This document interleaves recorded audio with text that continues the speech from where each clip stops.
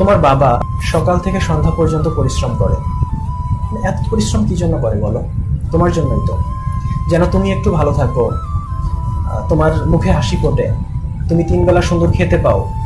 তুমি একটা সুন্দর টিচারের কাছে পড়তে পারো। তার জন্য অনেকের বাবা আছে যে আসলে তোমার পড়াশোনার পেছনে যে খরচটা হয়, ওই খরচটা সামলাতেই তোমার বাবার আসলে ঘাম ঝরে যায়। হয়তো ওভার টাইম করতে হয়, কত কিছু করতে হয়। তো এই বাবারা এত কষ্ট করতেছে তোমার জন্য। তুমি তোমার বাবার জন্য কি করতেছো? তুমি যেটা করতেছো সেটা হচ্ছে মোবাইল চাপতেছো বসে বসে। তাই না? তুমি যখন মেডিকেলে চান্স পাবা,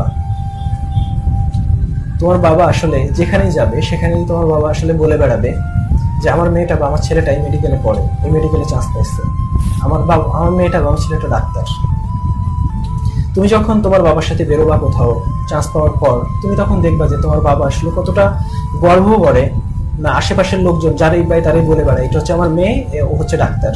বা ও সলিমুল্লাহ মেডিকেল কলেজে পড়ে, ও ঢাকা মেডিকেল কলেজে পড়ে। ওর পজিশন এত। তো ওই যে আনন্দটা তুমি তখন পাবা, এই আনন্দ তুমি যদি সারা জীবন মোবাইল চাপো, ওই আনন্দ তুমি কোনোদিন ফিল করতে পারবা না। ঠিক আছে? এই আনন্দটা আমরা ফিল করছি। যে আমার বাবা যখন বলে, আমাকে দেখায় যে ও হচ্ছে ডাক্তার সলিমুল্লাহ মেডিকেল কলেজে পড়ে। তিনশো সত্তরতম হয়েছিল। তখন এই যে অনুভূতিটা, এই অনুভূতিটা অ্যাকচুয়ালি তুমি কোনোদিন মোবাইল চেপে বা অন্য কোনো কিছু করে সারা জীবনেও পাবা না।